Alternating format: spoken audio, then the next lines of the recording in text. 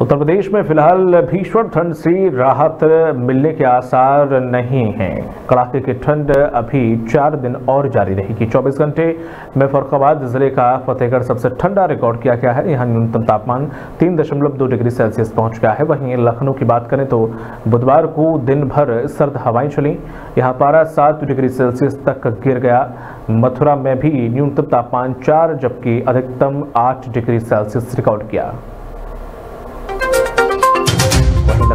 स्थित मौसम केंद्र के अनुसार हवा की ऊपरी सतह में घने कोहरे के कारण सूरज की तपिश ज़मीन तक नहीं पहुँच पा रही है। नतीजन धूप नहीं निकलने से दिन का तापमान भी कम रहा।